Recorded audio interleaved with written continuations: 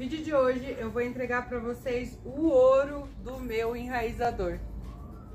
Oi, gente! Eu sou a Ana. Eu sou o Rômulo. E hoje eu vou contar para vocês tudo sobre o meu enraizador, porque tudo começa pela Qual raiz. é a importância das raízes para que as nossas suculentas fiquem assim, tão bonitas, tão saudáveis, que emitam brotos e que nos dê muita alegria. O sistema radicular é responsável por explorar o solo em busca de água e de nutrientes para as nossas suculentas. E por isso é muito importante que ela se desenvolva com abundância. Ter uma raiz com pelos absorventes em abundância é o que vai ajudar a nossa planta a se desenvolver para dar muitos brotos e também, gente, ela é responsável pela emissão de hastes florais, pelos frutos, tá? E pelos brotinhos, que a gente gosta muito, né? Olha quantas brotações nós temos aqui nas nossas plantas, olha só, gente. São lindas, né? A gente ama a brotação. Tudo começa pela raiz. Sim, o mesmo nutriente responsável pelo fortalecimento das raízes é também responsável pela formação de novos brotinhos, pela emissão de haste floral, flores e frutos.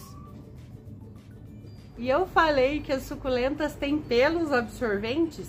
Sim, gente, você deve estar se perguntando o que são os pelos absorventes são essas pequenas raízes que nós podemos ver aqui no nosso substrato. Vocês podem ver que a raiz ela é formada por raízes grossas, que são essas que vocês conseguem enxergar aqui, ó. Essas raízes grossas, elas são responsáveis por sustentar a nossa planta. São elas que fazem com que a nossa planta pare em pé. e essas outras raizinhas aqui, ó, bem fininhas, são chamadas de pelos absorventes. E são elas que são as responsáveis por fazer com que a nossa planta receba água e os nutrientes que ela precisa. Se você não tiver um sistema radicular completo e bem saudável, você não vai entregar para sua planta água e nutrientes. Consequentemente, a gente não vai conseguir um bom desenvolvimento, a gente não vai conseguir novos brotos e a gente não vai conseguir a beleza da planta no máximo que Quando ela a gente pode. faz um corte numa suculenta e a nossa intenção é a emissão de brotos, ela precisa de um nutriente chamado fósforo para que esses brotos sejam estimulados. Olha só que caule lindo aqui, eu tenho várias mudas em um resultado de decapitação. E essa daqui é a cabeça dessa planta que tá aqui na minha mão. Essa daqui é uma Powder Blue. Nesse outro caule aqui, vocês podem perceber também a quantidade de brotos que a salsa verde emitiu para nós. E aqui tá a cabeça da salsa verde, já tá enraizada e o caule dela cheio de brotos. Nesses dois casos, a minha intenção foi reproduzir as minhas plantas. Então, a minha intenção era que ela gerasse tantos brotos para que eu pudesse fazer mudinhas para nós.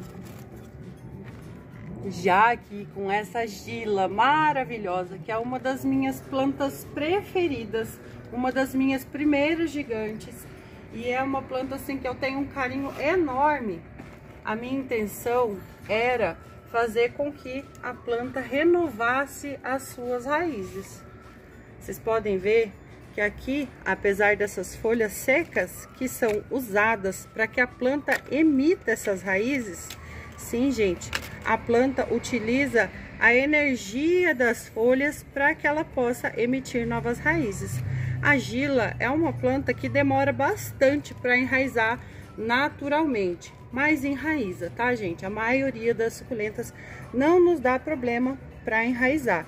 E aí ela solta assim, ó, pelinhos raízes e pelos absorventes, tá? Nesse momento, essa raiz, ela já está pronta para ir para um substrato. Vou mostrar para vocês com o produto que eu uso como esse processo ele pode melhorar o enraizamento das nossas plantas, fazendo com que elas emitam muito mais pelos absorventes. São os pelos absorventes que são responsáveis por coletar do substrato, tá? Todos os nutrientes e a água que a nossa plantinha precisa para se desenvolver. Então eu vou cortar aqui para exemplificar para vocês qual o procedimento que a gente tem para poder fazer com que as nossas plantinhas enraizem da melhor forma. Olha só, gente, a gente tira assim as folhinhas, as últimas folhinhas danificadas, tá? Como eu sempre falo, isso aqui é um ferimento, é como se fosse na nossa pele e a gente precisa desinfetar esse ferimento. Eu gosto de passar o álcool e ajudar na cicatrização com a terra de diatomácea. E aí quando a gente colhe todas essas mudinhas, a gente quer o quê? Que elas enraizem. E a gente também quer que os caules continuem brotando, não é mesmo? Então, a gente pode utilizar esse produto que eu vou mostrar para vocês para as duas finalidades, tá, gente? Quando a gente colhe essas mudas, a gente vai fazer uma limpeza nesses caules, tá? A gente sempre deixa algumas mudinhas no caule para que a planta continue a entender que ela está viva, que ela precisa se reproduzir, para que ela continue fazendo fotossíntese. Então, nesse momento que a gente cortou as nossas plantinhas, a gente aproveita para fazer a limpeza de todo o matinho, todas as folhas secas que tiverem no caule, tá? E oferecer para nossa planta um nutriente essencial para que ela continue a brotação, que eu vou mostrar também para vocês como é que eu vou fazer aqui. Tá gostando desse vídeo? Deixa o seu like, se inscreve no canal, deixa o seu comentário aí contando para mim qual que é a sua dificuldade para enraizar as suas plantinhas. Qual que é o procedimento que a gente vai utilizar, então, para enraizar essas plantinhas? Primeiro, preciso dizer para vocês que é muito importante que as, os ferimentos cicatrizem antes que a gente coloque elas num novo substrato, ok? Então, vocês podem deixar essas plantinhas em repouso, sem substrato, por pelo menos 3 a 5 dias, tá? até que esse ferimento aqui esteja se parecendo com uma feridinha com casquinha, como a gente costuma ver na nossa pele. Aqui um exemplo para vocês, gente, de ferida cicatrizada, tá? Vocês podem ver que ela forma como se fosse uma casquinha aqui. Você pode plantar ela nesse momento ou você pode esperar que ela emita as primeiras raízes, como foi aqui o caso da Gila eu preferi esperar que ela emitisse as primeiras raízes por ser uma suculenta já adulta. Então, isso me trouxe a segurança de que ela não vai apodrecer o caule quando eu colocar ela no substrato. Então, agora vamos logo mostrar para vocês esse enraizador que é poderoso. Eu já uso ele faz aproximadamente dois anos, tá? Lá no meu Instagram, nos meus vídeos mais antigos, eu já falei sobre ele. Mas agora, após todo esse tempo, aprendendo a utilizá-lo corretamente, é que eu posso mostrar para vocês como utilizar de forma correta, tá? E aí eu vou mostrar para vocês várias formas de utilizar e também vou mostrar para vocês como que a gente utiliza ele para estimular os nossos caules a brotarem com mais vigor. Nesses casos aqui, é, são plantinhas que eu já tô aplicando o enraizador nelas, tá? Elas são plantinhas que não tem nem 20 dias de colhidas. Então eu vou tirar para vocês verem aqui algumas plantinhas. Pode aproximar mais, amor. Vou tirar para vocês verem aqui, elas já foram, já receberam a aplicação em duas semanas, tá, gente? Então vocês podem ver aqui. Nossa, que lindo, tá super enraizado, amor. Olha só. Top. Aqui em cima vocês podem ver que tem uma camadinha de turfa com perlita. E lá embaixo, ó, tem o carvão, que é a minha drenagem, tá, gente? Então, olha só que linda essas raízes, gente. Deixa eu tirar mais um pouquinho para vocês verem. Gente, com menos aí de 20 dias, olha o enraizamento. Olha o enraizamento, crescimento de raízes de sustentação e crescimento de raízes com pelos absorventes. Olha só os pelinhos começando a nascer ali. Então, gente, eu vou plantar ela de volta aqui porque eu quero que ela continue o enraizamento perfeito dela. Ou já posso aqui plantar no potinho individual, tá? Aqui, ó, gente, ficou uma plantinha torta, ó. Ela enraizou tortinha. Vamos aproveitar para arrumar ela aqui, ó. Vamos lá, enfiar ela aqui dentro. É muito importante que a gente cuide uhum. da posição da nossa plantinha para ela não entortar. Aqui, gente, a gente tem outras mudinhas também que tem aí é, alguns dias que eu colhi e que eu tô aqui enraizando elas. Olha só. Também tem pouquinhos dias essas mudinhas aqui, gente. Tem o que? Uns 15 dias, amor? Ah, por aí, viu? Não é aí, isso não. Entre o corte e as aplicações de... Olha essa! Já até formou um torrãozinho, que belezinha. A gente tá vendo junto com vocês aqui, gente. Olha aí, ó. Que belezinha! Tá formando torrãozinho já. Vamos pegar, vamos pegar essa língua aqui Vai. que eu coloquei na sementeira para ver? Olha que coisinha mais bonita esse enraizamento, gente. Então vamos lá. Para fazer dessa forma que eu tô falando aqui para vocês, é, eu usei ele líquido, tá? O enraizador que eu tô falando para vocês é um enraizador, gente, que é utilizado na agricultura para enraizar até galho de árvore. Então vocês imaginem se ele não enraiza bem as nossas suculentas, tá? Mas tem que tomar cuidado, tá, gente? Porque a quantidade errada do produto vai danificar as suas raízes, não vai produzir um bom resultado. Então presta atenção, assista esse vídeo até o final, para que você não estrague as suas plantinhas, tá? Então para essa primeira aplicação aqui que eu tô utilizando nessas bandejas que vocês viram aqui, é, a gente vai utilizar um litro de água, tá? Tem um litro de água nessa garrafa. E a medida é muito pequenininha, gente. É o equivalente a uma colherzinha de, de café, tá? Essa colher aqui é um pouco maior, é aquelas colherzinhas de comer bolo de festa. Aqui tem o equivalente a uma colherzinha de café, gente. É bem pouquinho mesmo, tá? Então, aí a gente vai colocar aqui na nossa garrafa. Caiu para variar, né? Óbvio que ia cair. E aí a gente vai agitar. Mostra aqui embaixo, amor. E aí a gente vai agitar muito bem esse produto, tá, gente? Lembrando que toda aplicação de qualquer tipo de produto deve ser feita na sombra ou no final do dia, tá bom, gente? Então a gente agita bastante ele fica bem como se fosse um café. Aliás, gente, ele tem um cheirinho maravilhoso de café, tá bom? Que perguntou aqui pra mim sobre esse borrifador aqui. Vocês podem ver que isso daqui é uma garrafa PET. E essa parte de cima que eu comprei numa casa agropecuária aqui pertinho de casa. Custou bem baratinho. E eu achei bem legal. Porque ele é bem resistente. E para serviços pequenos assim, ele é bem eficiente. Então aí a gente vai dar um banho nas nossas plantinhas, né, de forma geral. Nós vamos molhar bem esse substrato. Não pode pôr essas plantinhas no sol com enraizador em cima, porque ela causa queimaduras, tá, gente? Causa queimadura, então façam isso no final do dia e no amanhecer vocês podem aí tirar o excesso borrifando água por cima, tá? Nunca deixem as plantinhas de vocês molhadas com enraizador em cima. Porque a, a, queimadura que ela pode causar é aquela queimadura que faz furos nas folhas, tá bom, gente?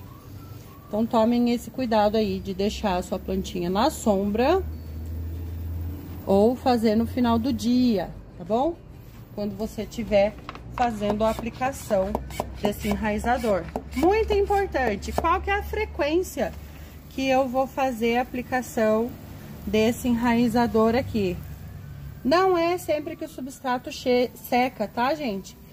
É uma vez na semana durante seis semanas, tá bom? É o tempo que ela vai é, emitir bastante raízes e vai... Às vezes eu aplico até menos tempos, tá, gente? Dependendo se eu vejo que a planta já tá com sistema radicular bom, aqui eu já poderia parar de aplicar com duas semanas, né? Vocês viram aí, tem duas semanas, pouquinho mais de duas semanas e já tem planta ali muito bem enraizada. Então a gente faz uma aplicação por semana bem abundante, dessa forma que eu tô fazendo líquida aqui. Mas a gente tem outra forma de fazer também essa aplicação do enraizador, que eu vou mostrar agora para vocês. Aqui, gente, eu tenho mudinhas de aurícula, tá bom? São mudinhas de aurícula. Elas já estão cicatrizadinhas. E nesse caso, eu quero plantar elas já no recipiente, no vaso que elas vão ficar. É muito importante, gente, para o enraizamento das plantas ter um bom substrato. Então, se você tem dúvidas aí como fazer substrato para suculentas, eu tenho vídeo aqui no canal explicando como eu faço meu substrato. Só o meu substrato, ele já garante um enraizamento muito bom para as plantinhas. Isso daqui que eu faço é mais na época de outono e inverno, quando as plantinhas estão com o metabolismo mais lento e aí elas precisam de uma ajudinha para enraizar de forma mais rápida e mais vigorosa. Eu trabalho com plantas, então para mim o enraizamento vigoroso e rápido é muito importante. Então, gente, vocês estão vendo, aqui tem potinhos com substrato. E aqui, gente, eu tenho pó de coco, tá? Eu vou aplicar o enraizador aqui, vocês vão ver como é que a gente vai fazer. Mas esse material aqui, ele pode ser pó de coco, ele pode ser turfa, ele pode ser carolina soil, ele pode ser essa parte orgânica, qualquer parte orgânica que você utilize aí no seu substrato, você vai utilizar ela pura, tá? Eu só não recomendo o uso de terra vegetal, tá? Pó de coco é matéria-prima é, pura, a turfa é matéria-prima pura. E o Carolina Soil também é um ótimo enraizador, mas isso a gente vai usar puro, porém em pouca quantidade, como eu vou mostrar para vocês aqui. Aqui tem aproximadamente um litro, e aí o enraizador, gente, é a mesma coisa. Uma colherzinha de café a gente vai aplicar aqui nesse pó de coco, que pode ser turfa, que pode ser carolina soio. E vai misturar bem, tá, gente? Não pode deixar nada acumulado. Vocês não têm noção do cheiro desse enraizador, como ele é gostoso, gente. Nossa, dá uma vontade de tomar um café. Então, vamos misturar bem, bem, bem, bem. Nosso enraizador aqui. E a gente vai colocar punhadinhos por cima dos vasos, tá bom? Um punhadinho em cima de cada vasinho. Em cima de cada vasinho é só um punhadinho. e aí a gente vem com a nossa plantinha que já tá cicatrizada e ó, coloca ela aqui, tá? Coloca ela bonitinha aqui. Quando é que eu vou regar isso daqui, gente? Vou esperar aí uns três dias, mais ou menos, para começar a regar. E aí, vai começar a liberar o enraizador. Como a turfa, o pó de coco, é, o Carolina Soil, ele já tem naturalmente uma certa umidade, quando a gente coloca a plantinha nele, ele já começa a entregar para a planta os nutrientes que tem aqui no nosso Rutex. Eu vou ler aqui para vocês, gente, é, as garantias e especificações, que são os nutrientes que tem aqui no nosso enraizador. Gente, ele vem originalmente nesse pacote. E aqui a gente encontra 7% de nitrogênio, tá bom? Solúvel em água. 47% de fósforo solúvel em água. Gente, o fósforo é um nutriente que eu falei para vocês que ele que garante um bom enraizamento, a emissão de novos brotos, hastes florais, flores e frutos. E daí ele tem também aqui 6% de potássio solúvel em água, em água, tá, gente? E aí ele tem outras coisas aqui em menor concentração, que são só para dar volume para o nosso produto. Agora eu vou mostrar para vocês como é que a gente aplica para a emissão de novos brotos naqueles caules lá que a gente Tem cortou. Os cortes, né, que a gente vai esperar cicatrizar para daí plantar, como a gente acabou de fazer com a aurícula. E aqui a gente quer, tem os caules que a gente quer que continuem brotando. Então, o que, que a gente vai fazer, gente? Garanta que os seus caules já, já tenham sido hidratados na noite anterior, tá? Eu não vou aplicar nesse daqui porque ele tá muito seco. Já esse daqui, ele tá um pouquinho mais úmido lá dentro. Então, não aplique o enraizador na sua planta quando ela estiver muito seca, gente. Então, aquela mesma mistura que a gente fez ali para aplicar nos bebezinhos, a gente vai aproveitar para aplicar agora aqui, ó, no caule, tá, gente? A gente aplica em todo o caule. Na onde a gente tem ali os caulezinhos, né, onde vão sair novas mudas. E no substrato, tá bom, gente? E nesse daqui eu vou fazer uma rega primeiro para depois eu fazer a adubação com esse fertilizante. Ele é um fertilizante, tá, gente? É, que se chama Rotex, que eu já uso faz aí dois anos e que eu gosto muito. E aqui na minha argila, gente, eu vou fazer o mesmo processo que eu fiz com as aurículas. Vou colocar num vaso com substrato normal e por cima vou colocar um punhadinho de pó de coco misturado com enraizado. Gente, queria lembrar vocês que além desse vídeo, tem vários outros vídeos aqui no canal para você maratonar e aprender muitas coisas.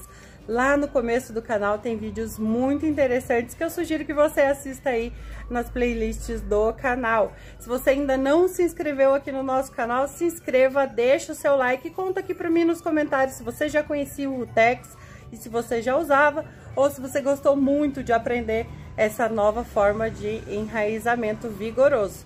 Por hoje, gente, a gente vai ficando por aqui. E fiquem todos com Deus. Fiquem todos com Deus.